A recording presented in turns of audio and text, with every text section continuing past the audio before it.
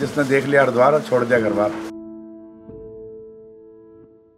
हरिद्वार जैसी नगरी कहीं मिलेगी नहीं। ठीक है, सबको अपना अच्छा घर लगता है, लेकिन हरिद्वार आके जो शांति मिलती है, वो कहीं नहीं मिलती है। और जिसे हरिद्वार में शांति नहीं है, और जिसने हरिद्वार में रह के खोटे कर्म करे, उसकी कहीं सुनवाई नहीं। क्योंकि हमने, हम कहीं भी पाप करके आए, हरिद्वार गंगा जी में हमने पाप धो लिए।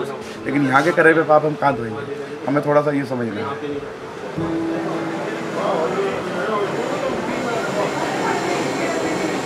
ये हमारा जो बाज़ार है ये मोतियों से भरा हुआ है। अच्छा। इसका नाम है मोती बाज़ार। साढ़े चार सौ साल पुराना ठंडा कुआ है। उस पर एक हरिहर भगवान की मूर्ति है। आपने हरि और हर विष्णु जी और शंकर जी बिना वर्मा जी के जो है ऐसा नाम नहीं सुना होगा। या तो वर्मा विष्णु महेश सुने होंगे या तीन मूर्ति सुनी होगी। ये हरिहर का मतलब यहाँ पर यह रहता है कि हरि मतलब विष्णु और हर माने शंकर भगवान। इसका नाम हरिद्वार भी है और हरिद्वार भी। मतलब जब आप बद्रीनाथ जी जाते हैं तो वहाँ विष्णु जी वहाँ पर विष्णु जी की प्रतिमा है। तो उसका दरवाज़ा भी यही है जाने का। उसका नाम है हरिद्वार। और हरिद्वार का मतलब है कि आप केदारनाथ जाते हैं। केदारनाथ है भोले शंकर का। तो वो उसके लिए भी आपको यहीं से जाना है। उसका नाम हरिद्वार भी है। तो इसलिए हरिद्वार हरिद्वार में केवल ये छोटा सा फ़र्क रहता है। क्योंकि तो चाट की जो स्थापना हुई थी वो अकबर के काल में हुई थी। अच्छा कोई बीमारी फैल गई थी पेट की तो वो जो मूँग की दाल की पकौड़ी वगैरह हैं वो पत्ते पे चटवाते थे। मसाले डाल के। और कांजी का पानी पिलाते थे। तो इसमें पापड़ी नहीं होती थी। और जो मूंग की दाल का बड़ा है, वही होता था, और दही और चटनी और हरी चटनी का इसमें कोई रोल नहीं है, आलू का कोई रोल नहीं है। तो इसलिए हमारी दुकान में आप, इसलिए मैजिक चाट कहते हैं कि लोग, इसमें ना आलू है, ना चने हैं, ना हरी चटनी है, ना कोई गर्म मसाले हैं। उसके बाद भी लोग बड़े खुश होकर जाते हैं।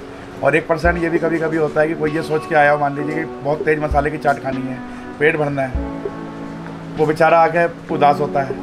और वो ये भी सुनने हमें भी सुनने को ये मिलता है कि जैन साहब, नाम तो सुना था। लेकिन हमें मज़ा नहीं आया। तो उनको भी हम वेलकम करके सॉरी बोलते हैं कि आपने हमें दो घंटे ढूंढा। यहाँ माया देवी का सबसे बड़ा मंदिर है, हरिद्वार में स्टेशन के पास।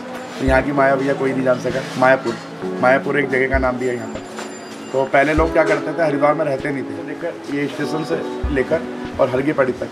लघु शंका भी नहीं करते थे। पंडे लोग यहाँ पर सुबह आते थे और शाम को चले जाते थे। तो यात्री कोई रात को रुकने वाला होता तो उसे अपने घर ज्वालापुर लेके जाते थे। कोई धर्मशाला नहीं थी 200 साल पुरानी बात बता रहा हूँ मैं ये मैंने पढ़ी है इसका प्रमाण है। मतलब ये इतनी पवित्र भूमि है ये कि यहाँ पर लघु शंका भी नहीं करते थे किसी को बाथरूम भी जाना है एक नंबर। तो स्टेशन पार करके जाइए। और आज आप देखिए कि हम लोगों ने इसको पिकनिक स्थल बना दिया है। तो थोड़ा सा उसका फ़र्क भी पड़ा है। तो हमने जितने तीर्थ है सबके अंदर जितनी सुविधाएँ बढ़ती जा रही हैं तो लोग हम लोग तीर्थ के लिए कमा रहे हैं। घूम फिर, घूमने फिरने, अपनी पिकनिक बनाने ज़्यादा आते हैं। तो कल परसों भी जो है, परसों रात को कुछ पकड़े गए। गंगा जी के अंदर जो है, बस पीरे खा रहे थे। अब आप बताओ, गंगा जी के अंदर बैठ के बियर ठंडी करना, ये करना मतलब कहाँ का ये? जो आप कहते हैं, हम लोग कहते हैं कि आपदा आई है। केदारनाथ जी की आपदा आई है। जब हम लोग ऐसी इंसानियत छोड़ देंगे तो भगवान को तो रुष्ट होना ही पड़ेगा ये मोक्षदायिनी गंगा है।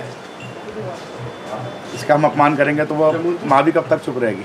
मान लीजिए बच्चा गलती करता है तो माँ का भी अधिकार पड़ता है कि कान पकड़ के उसको सही करने का है। तो वो जो केदारनाथ की आपदा आई थी वो हमें एक आपदा चेतावनी देने के लिए आई थी कि अब भी सुधर जाओ आने वाले। अब ये कोरोना भी इसी वजह से आप देखो कि हम लोगों ने जो केवल इंसान है छोड़ दिया। अपने इंसान का धर्म अपनाए बाकी सब कुछ है।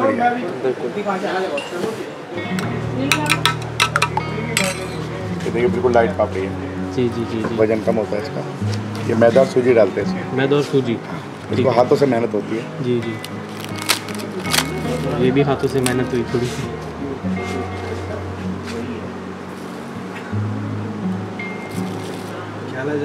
जय गंगा मैया की। कैसे हैं आप? क्या मसाले डल रहे हैं सर? ये सर इसमें काली मिर्च। है ठीक है जी। ये जीरा पाउडर है। ठीक है जी। ये मिर्च है घर की मिर्ची ये नमक है टाटा का। ठीक है। मेन तो ये हो गया बाकी ये है हमारा। इसको शॉर्ट बोलते हैं।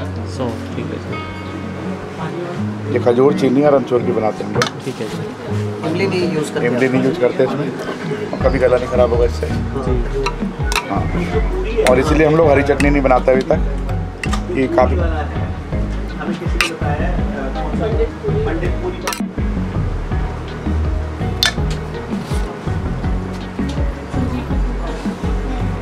बहुत खूबसूरत।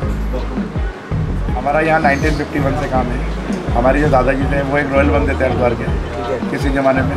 उनका गुड़ का, चीनी का, घी का काम था। तो कुछ मद्दी आई सरकारी रुपये के दस पैसे रह गए। कुछ उनकी लापरवाही भी रही होगी, क्योंकि एक बग्घी रखते थे वो। मुनि मुनिमों के ऊपर काम सौंप रखा था।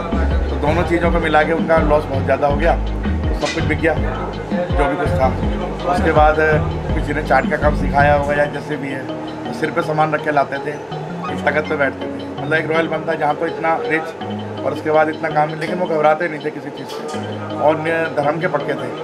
जैसे हम लोग जैन हैं तो हम रात्रि भोजन नहीं करते हैं। तो वो रात्रि को अनाज को हाथ भी नहीं लगाते थे। अच्छा तो किसी वजह से मान लीजिए कुछ सामान बच गया कुछ हो गया दिन छिपने से पहले तो बच्चों में बांट जाते थे हैं। ये पत्ते हमने लिए तीन पत्ते लगाने के बाद ही चाट इसमें टपक जाएगी। जी। तो हम लोग ये दोना बनाते थे। टोटल तीन दिन। अब इसमें चाट खाने का बहुत ही आनंद आता था। उसके बाद जब आदमी चाट खा जाता था तो ये पत्ते को ऐसे खोल के चाटता था। तो इसका चाट का जो नाम भी यही है कि ना तराजू ना बाट चाट पत्ते को चाट। सब चीज़ें पहले हाथों की मेहनत बहुत ज़्यादा थी। बस वो ये कि हमने फार्मूले चेंज नहीं करे हैं। जो स्वाद का थोड़ा अंतर आया है वो यही आया कि सारी चीज़ें मशीनों की पिसी हुई हैं। तो गाइस बड़े ही ज़्यादा परिश्रम के समय के बाद। परिश्रम के बाद। जैन चाट। भंडार की स्पेशल चाट मैजिक हाथ में चाट और जैन साहब ने बोला है कि इसको ना आप चम्मच से नहीं हाथ से खाइए सैनिटाइज करना पड़ेगा मेरे हाथ से। मेरा सैनिटाइजर है झूठ। नहीं मैंने किया था। अरे यार कसम से। ये ऐसा कुछ है दिखने में scene very nice light wait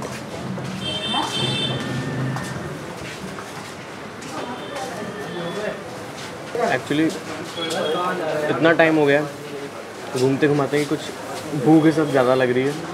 और ऐसी चाट हम कितनी भी खा सकते हैं पर भूख नहीं मिटेगी।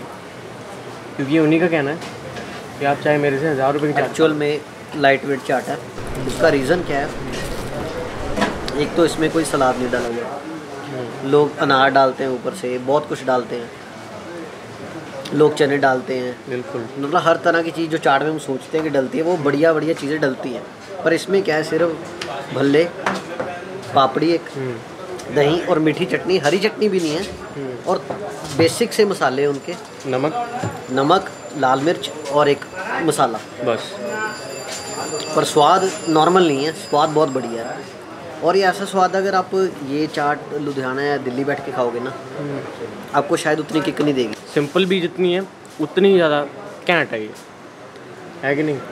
पर इसमें लोकेशन का बहुत बड़ा हाथ है। लोकेशन का बहुत बड़ा सही बात है। वो यहीं पे इसका स्वाद जो आ रहा है ना हम्म, हम्म, वो अपने घर जाके अपने शहर में वैसा स्वाद नहीं आएगा। बिल्कुल और इसके लिए जितनी हमने वेट की है मतलब उसका तो बहुत ही ज़्यादा बड़ा हाथ है क्योंकि हमें भूख इतनी लगी है कि बहुत ज़्यादा टेस्टी लग रही है लाजवाब अगर आपको वीडियो पसंद आई हो तो लाइक कर दो। चैनल सब्सक्राइब नहीं किया तो फटाफट जाके कर लो यार। और कमेंट करना मत भूलना। बाकी वीडियोस भी देखो चैनल पे। और मिलते हैं हम आपको अगली वीडियो में। जय गंगा मैया।